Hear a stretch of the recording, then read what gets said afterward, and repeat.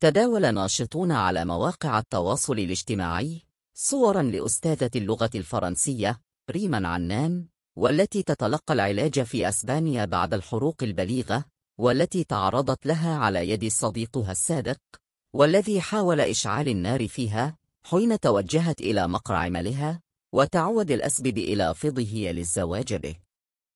ليتم القبض عليه وتسليمه للشرطة.